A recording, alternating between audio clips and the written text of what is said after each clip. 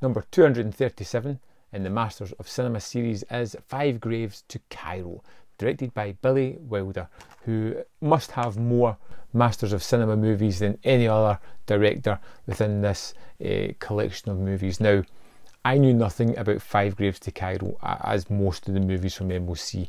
I just threw it on and I didn't know the kind of tale we were going to get. We wake up. Uh, or we follow a character as he wakes up inside a tank that's been uh, attacked and somewhat. Most of its other passengers are dead. He stumbles out into the desert, um, starts to stagger into a local town which was once owned by the British Army but it has now just been taken over by the Germans.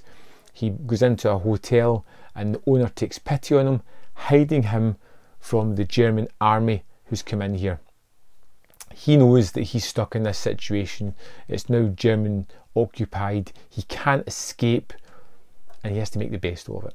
So, what he decides to do, our Captain John decides to take the place of Paul Davos, a waiter who died in a bombing attack. So, he does so, takes on that guise, becomes one of them, gets pulled in to the German army, sat down, and then through a conversation realizes that this Paul Davos, who he's taken over his character, was in fact a German spy. And now he has to play that duality again while trying to figure out a way to escape and holding back from killing Rommel, who is leading this attack uh, on Cairo, or that's where his next place, port of call, is going to be. For the first five minutes of this movie, I struggled to kind of bed into it.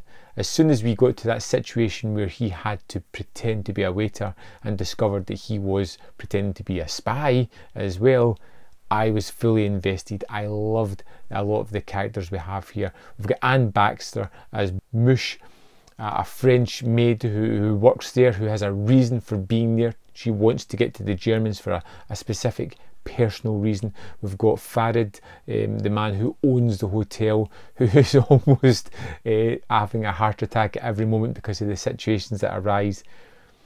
It's full of tense and fun sequences throughout the movie. Moments where they're very playful with the camera, very playful with the situation uh, and the tense and suspenseful nature of things that, that transpire. You always feel that our undercover British agent is going to be caught at some point, who's going to find himself um, in really tight situations where he's having to pretend to have further knowledge of things. He wants to also stay there and figure out what's the German army's plans and how he can thwart it and get out of that situation. It's great, it's wonderfully performed, and it has this real sense of dread in it. You have a real sense of weight. Things could go wrong. It does have a little bit of propaganda in it as well, but at the time the movie was released, I wouldn't expect anything less.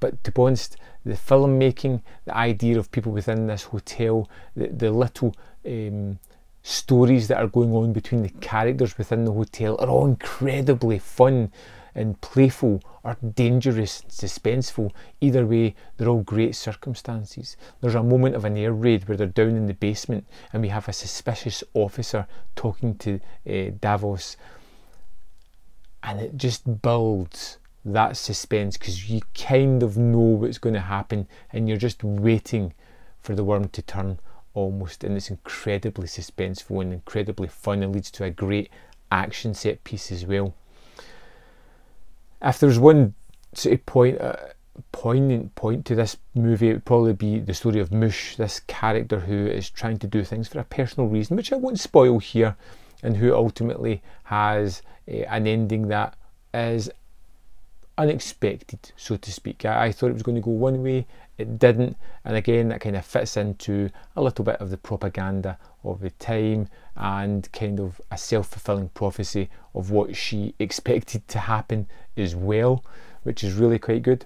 Great performances, great comedic moments, great suspenseful moments, intense moments. It looks great. Um, I heard lots of rumours about the transfer not being great here. I had no issues with it at all. And I found a movie that was really engaging, really suspenseful, very different from what I expected. And after those first few minutes where I didn't really know where the story was going to being suddenly fully invested and really enjoying the dialogue and the performances and the way the camera moves and reveals things. Real sense of danger in this movie while still keeping that fun adventure idea to it as well. I'd strongly recommend Five Graves to Cairo. I'd love to know your thoughts on the movie. Let me know in the comment box below. And I'll see you next time on Man v Film.